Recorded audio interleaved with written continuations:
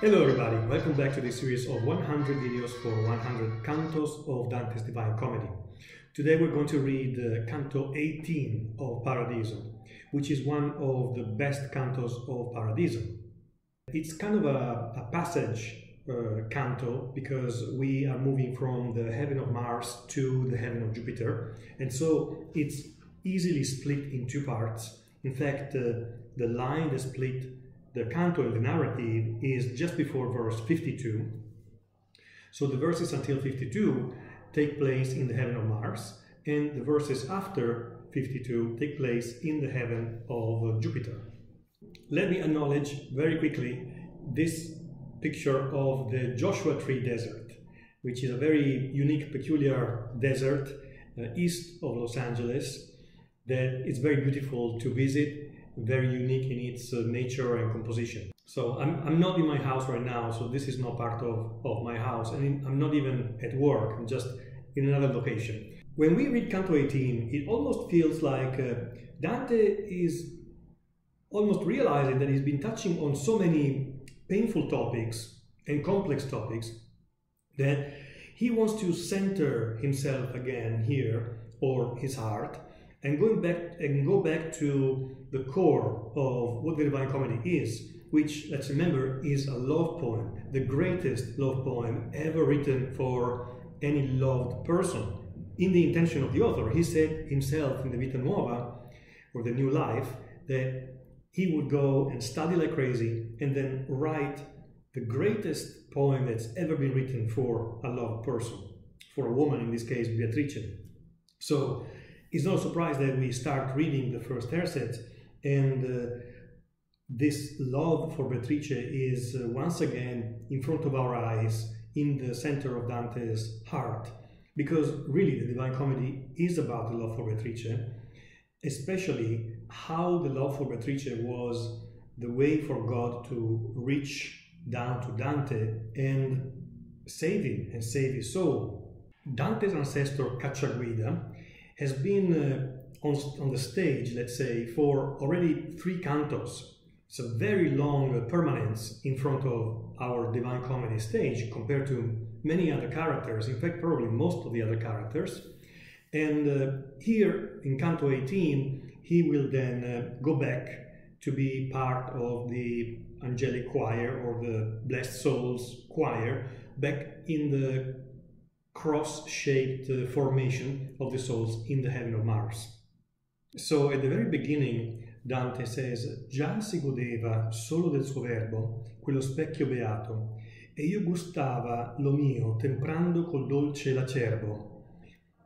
This reminds us that uh, in the previous canto, like I discussed with uh, Chiara, um, we've been uh, hearing uh, Dante talk about taste, the sense of taste.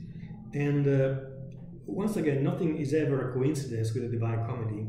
Dante is uh, recalling that uh, the sense that he gave us in uh, in the previous canto by saying gustava, which means tasting.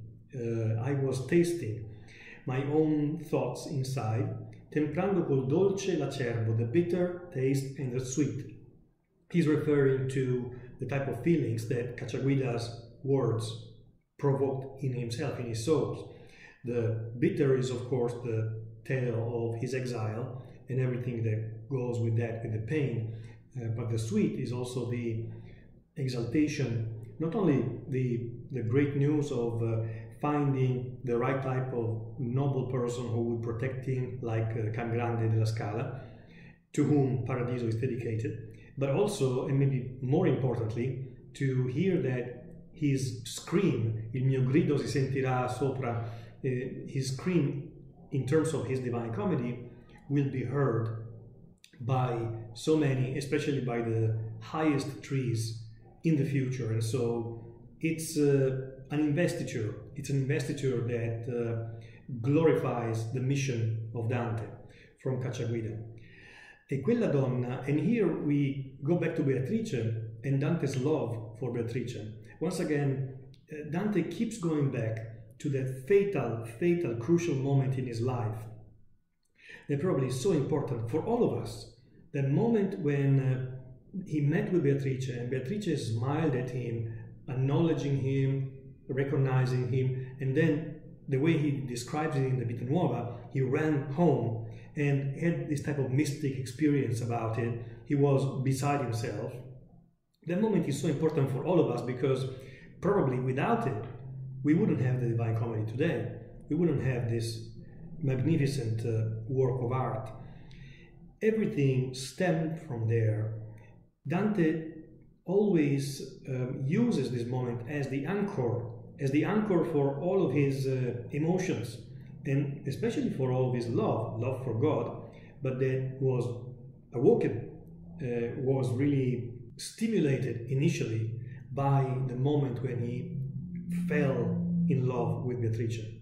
E quella donna che Dio mi menava disse: Muta pensier, pensa chi sono presso a colui che ogni torto disgrava. Change your thinking. This tercet, which is the second tercet, really reminds me how powerful is uh, prayer and any type of spiritual engagement to change our moods. If we have worries, if we have anxieties that generally are caused by thoughts, we are thinking about something and then we think about it again, then we think about it again. There is nothing like prayer or meditation, if you're not religious, that can really help you clean those thoughts away and start afresh, start anew, change your mood from within. This is what this particular terce sounds like. Muta pensier, pensa chi son presso a colui. I, Beatrice, I am next to God. You can see my image here in the heaven of Mars, but you know I'm next to God. Think about what really matters and the beatitude that I am experiencing right now and that you will experience as well. From verse uh, 7 to verse uh, 25, 26, we have Dante once again singing and celebrating his love for Beatrice in such uh, a genuine, genuine, spontaneous way.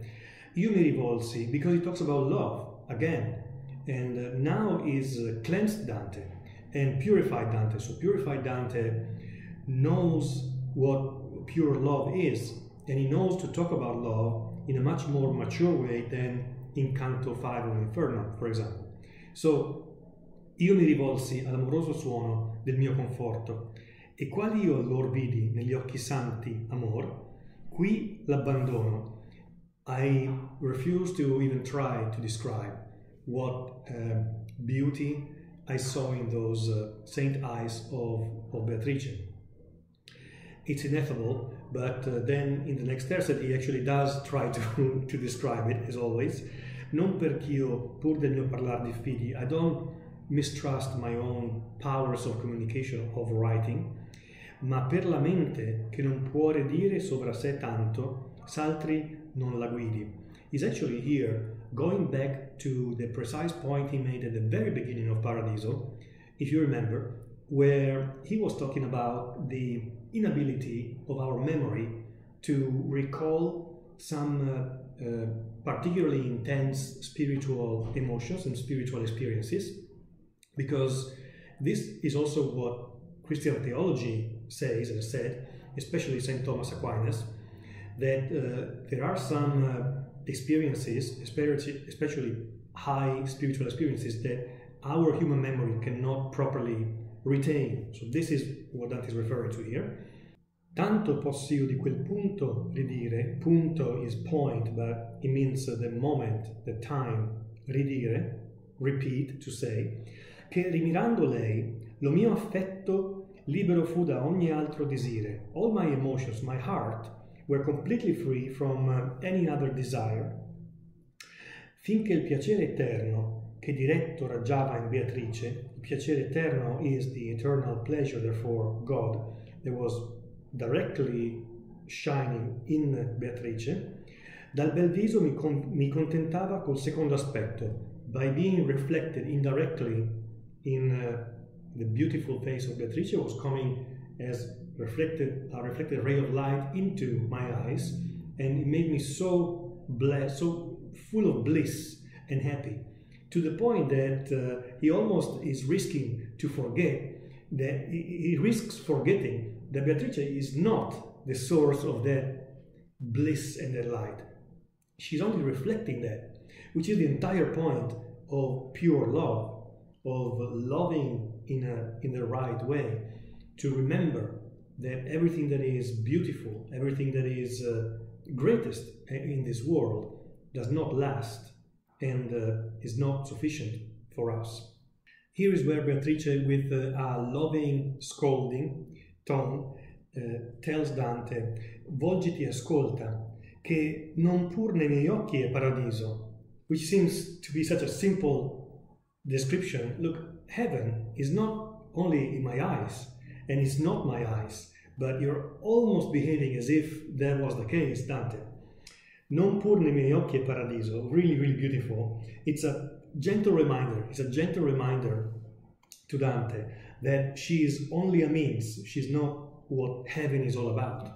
These gorgeous initial passages, um, I always have in mind this the, the beautiful quote by Dostoevsky, beauty will save the world.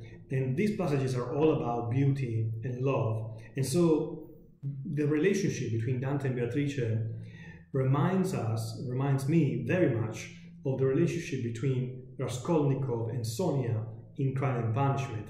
So I went to look up uh, one of my favorite scenes, the most uh, important, delicate, profound, moving, and, and, and full of light scenes in Crime and Punishment, where Sonia, just like Beatrice with Dante, is the means that God is using to save Raskolnikov's soul.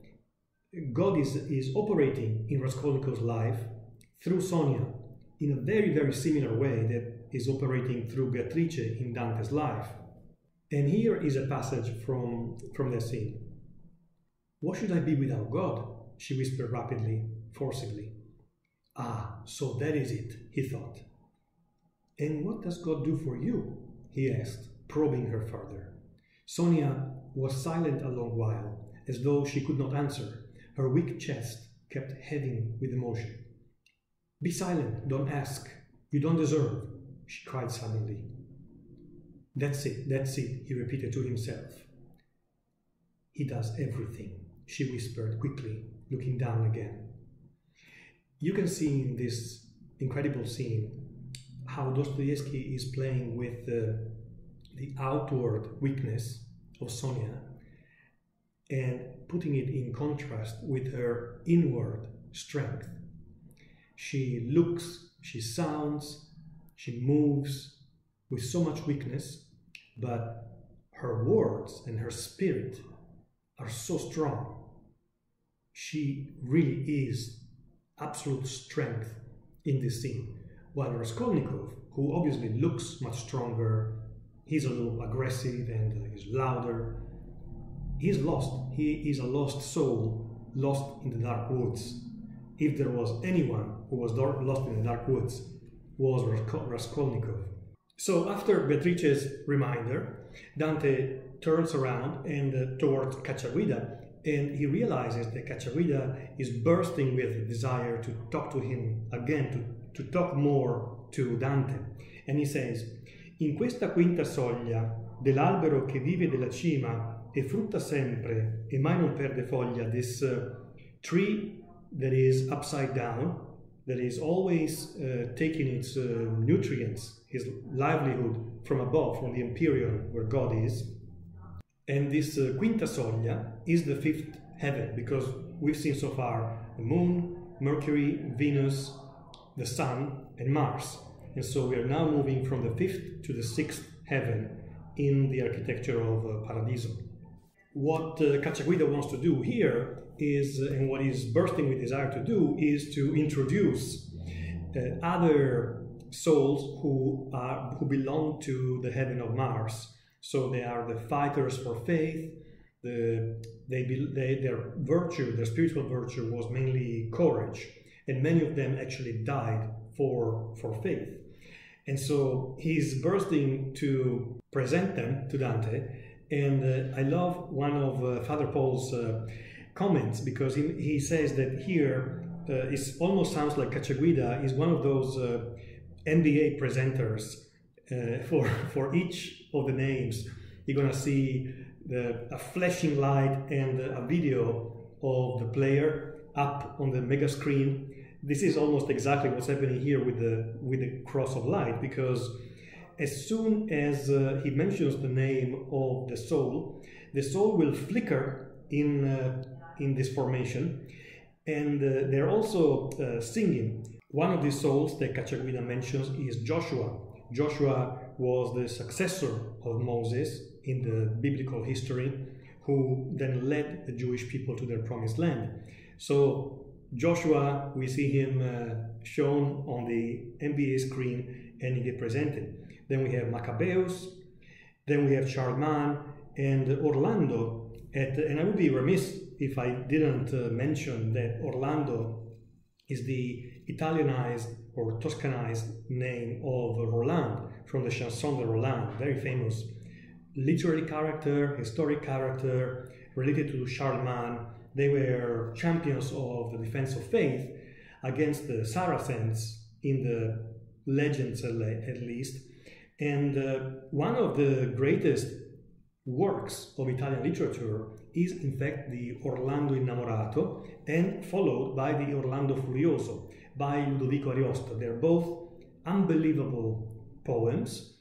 Um, Orlando in Furioso, in particular, which literally is translated as the Raging Roland, is unbelievable because it has so much uh, surreal imagination and uh, creativity in it uh, and profundity as well, while uh, having some tragedy, some comedy.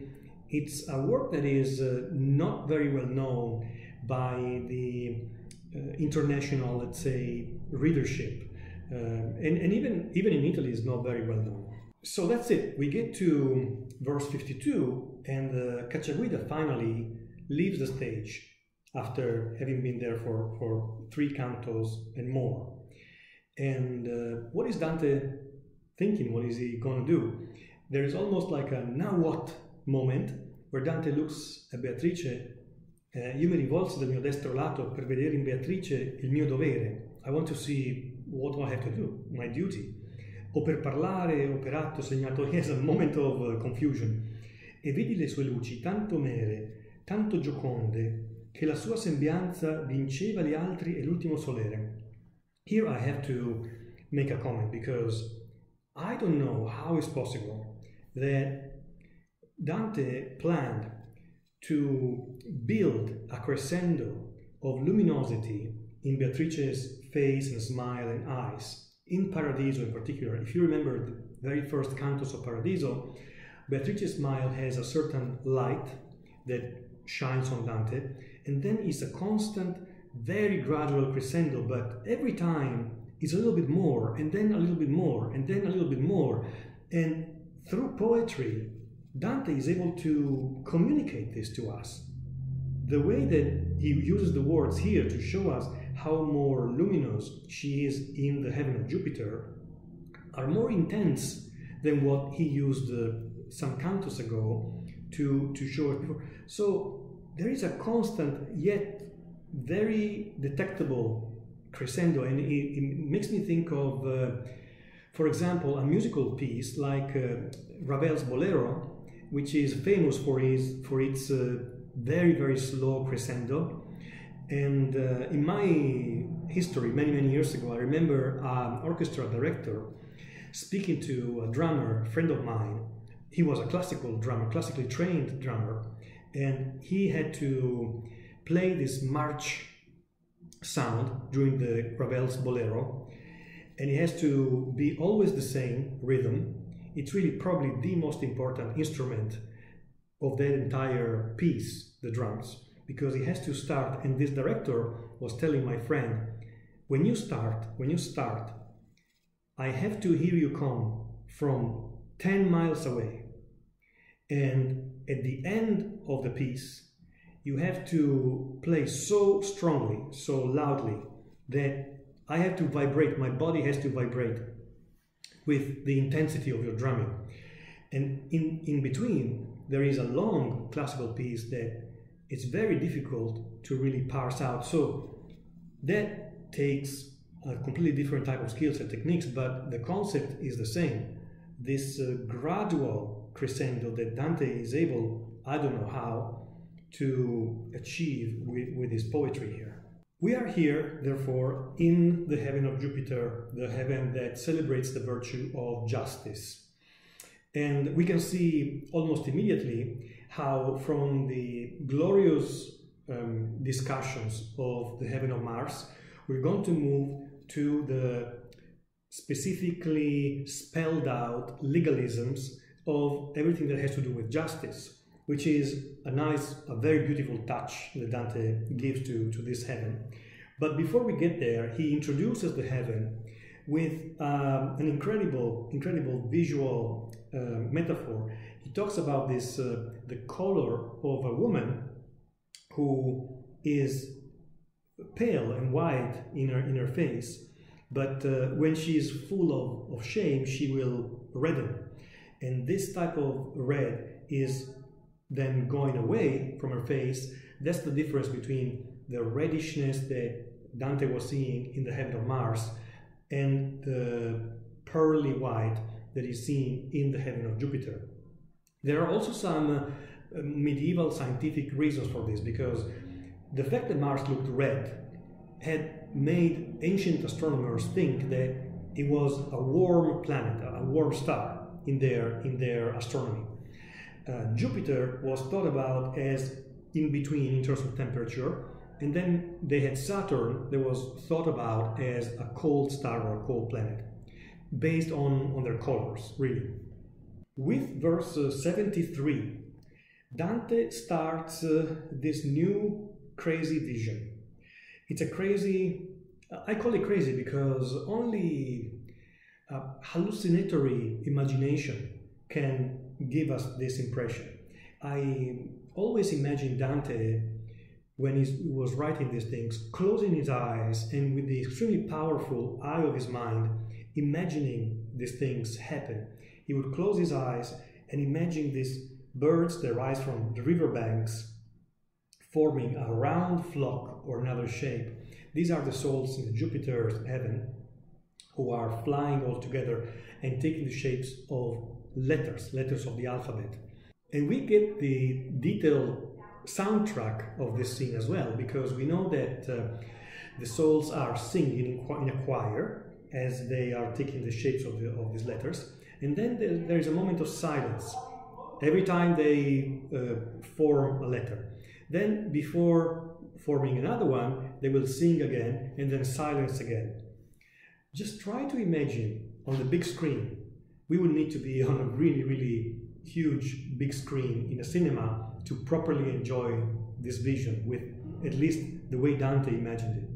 Mostrarsi dunque in cinque volte sette, he saw 35, 5 times 7, 35 letters, vowels and consonants, forming the following Latin words. Diligite justitiam, qui judicatis terram, which means love justice, you who are judging the earth. In other words, you who are the leaders, who are, you who are the judges, the people in power on earth, are encouraged to love justice. And this is, in fact, uh, the very beginning of the Book of Wisdom in the Bible. So it's a perfect introduction to the theme of justice, as if visually we were not stunned enough yet. Once this sentence all these bird-like souls have composed the sentence, the letter M, which is the last one, starts morphing and transforming. And first it morphs into a lily, and then it morphs again into a huge eagle, a golden eagle, which obviously has an echo of the golden eagle that we see in Canto 6, reflecting the Roman Empire. And this is still not enough. It's not enough yet because he's also asking us to imagine this eagle or this letter M as an intarsium, as something that is an embossed golden um, jewel inside the silver of the sphere of Jupiter. So we have to, remember to imagine this uh, golden eagle as an embossed jewel within the silvery color of, uh, of Jupiter. Pareva d'argento, lì d'oro distinto. Argento is silver and oro means gold.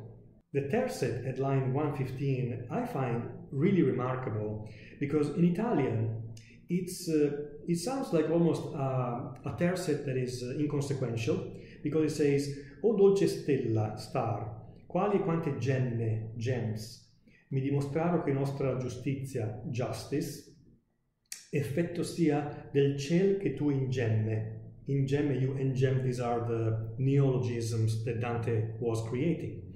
But if you read the tercet, what you get in your mind is an effect of uh, sparkling. He is kind of taking a, making us step back and in front of this spectacle, making everything sparkle for a moment. It's, it's really, really beautiful. The canto ends uh, with a little bit of a, a bitter note because um, even if it's constructive, it's a note of bitterness towards uh, the corruption of the church of his times. Always there we end up with Dante, but uh, this smoke that comes out is the avarice, is the greed that comes out of uh, the clergy, comes out of the church. And so Dante is saying, I, I am praying, la mente in che si inizia, the, the mind of God, that he looks at how things are, the situation of the church, and uh, with righteous anger, once again, just like it happened in the gospel, where Jesus got righteously angry against the merchant in the temple, he hopes that God feels again um, rage for the situation of, of the church. And he draws a parallel with that specific scene in the gospel. He draws a parallel with uh, the fact that uh, già si solea con le spade far guerra, ma or, today, uh, they are actually making war, even taking away the bread che il Pio Padre, il, lo pane, il pane in Italian means bread, pane, che il Pio Padre a nessun serra. Our good Lord doesn't deny the, the bread of, uh, of life, the, his word, his uh, spiritual nourishment to anybody. The, the Eucharist, we can say.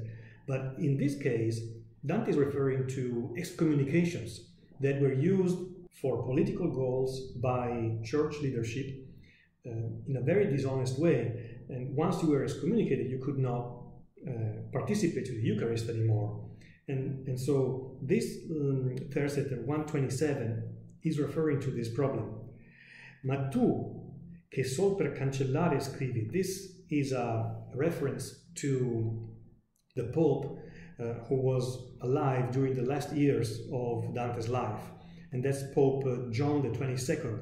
He was Pope between 1316 and 1334. Dante is saying that uh, Pope John XXII, instead of having his desire and his heart set on St. Paul and St. Peter, as he should do, calling St. Peter the pescator, the fisher, his heart is actually set on St. John the Baptist, which is a sarcastic way to mention the florin, il fiorino, the coin of Florence. That's what his heart is on. So how do you like this Canto 18 of Paradiso? Please let me know in, in the comments and let me know any other thoughts you might have. Um, thank you very much for watching, as always, for all the support.